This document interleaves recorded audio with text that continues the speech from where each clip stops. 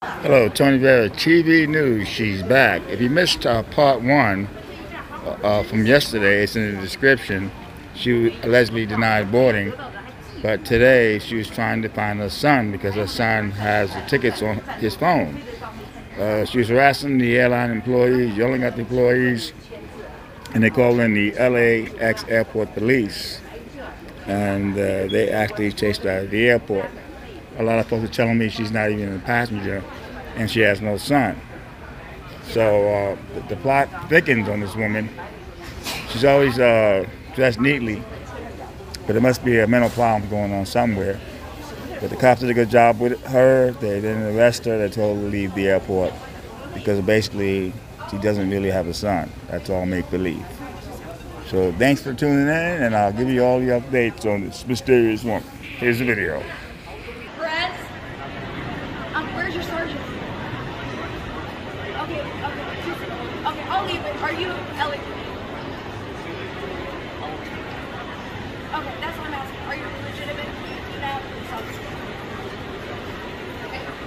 Try, no, my son, get back here.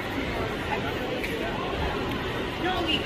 I'm saying, I'm asking you to make a police report, find my missing son, Hector Noah Drummer Jones. Can you do that for me? No, you won't do that. So you're not a real police officer. Okay, so Arandaga, you ask your supervisor to look for my son Michael Noah Jarmel Johnson. Can you look for my son Michael Noah Jarmel Johnson? Can you look for my child?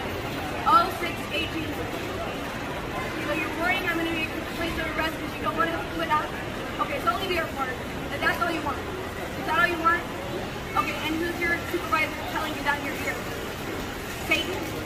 Satan's telling you that? The devil is telling you, get this rid of this girl.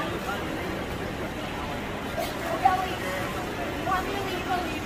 Then I'm asking you, and I'm asking you find Michael and John Noah, 0618 Jose in, in immigration, that is my husband.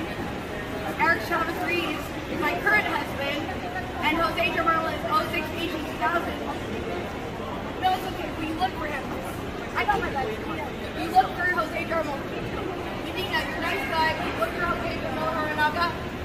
It's 0224 1968. You look for Jose Atanasio I got it.